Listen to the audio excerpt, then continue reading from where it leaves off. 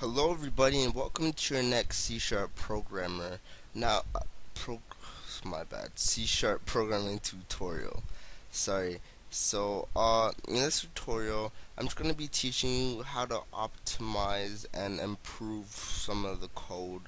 Um, one section of the code that we did for the animation. And you will be saying, why am I doing this? Well, part of being a programmer is not just being able to program, but to make your programs efficient. Anybody can be like, oh, I can program, but to separate a good programmer from a great programmer, or from a mediocre programmer from a good programmer, is from code, the code quality and the optimization and the way they've coded it, and so on and so forth, and the algorithms they use.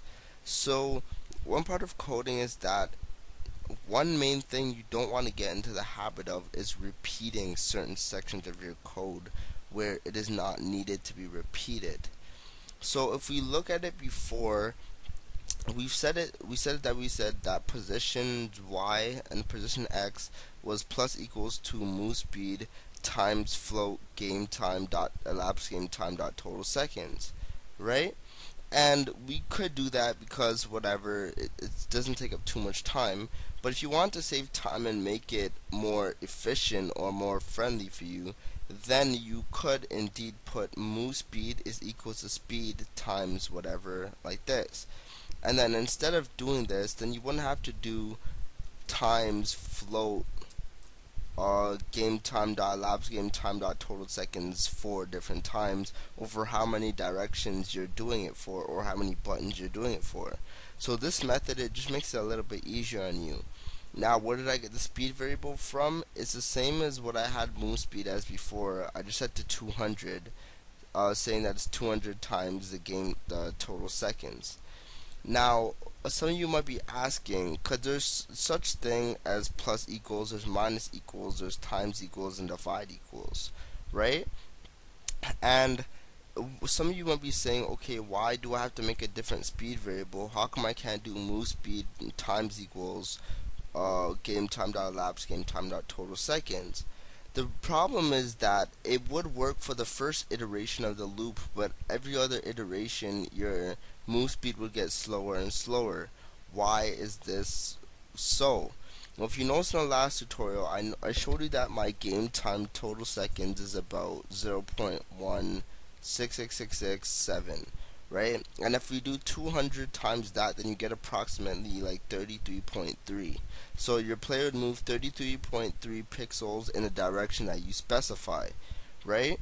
So imagine if we do this, we say 200 times equals this, which is the same as saying move speed is equal to move speed times whatever, but this is a shorter way of doing it. So it's saying 200 times 0. Point whatever and then you get 33. Move speed will equal to 33.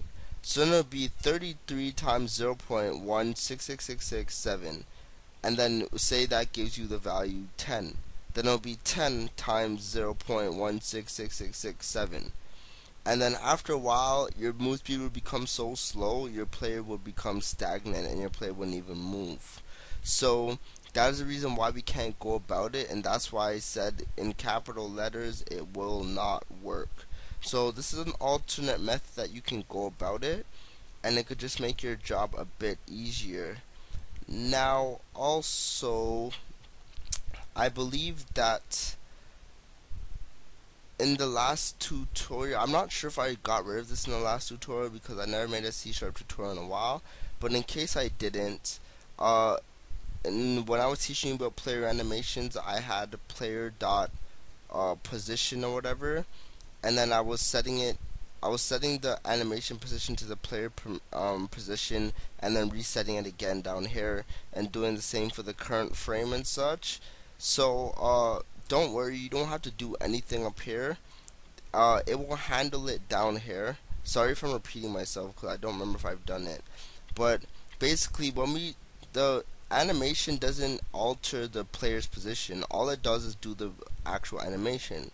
So this, the player stores the animation and we send the player's animation to the actual player's position. And since the play, the animation class didn't alter it, that means the position is going to stay the same. Meaning that we don't have to set the animation's position to the player's position and then then change the player's position and then reset it back to the animation class. So if that didn't really make sense to you, just you just don't need to put anything here about the player position or the current frame Y up here. You can handle it at the bottom after you've modified the current values. So that is it for this tutorial. I know it was kind of short, but look forward to your next tutorial. Thanks for watching. Hope you enjoyed this and bye.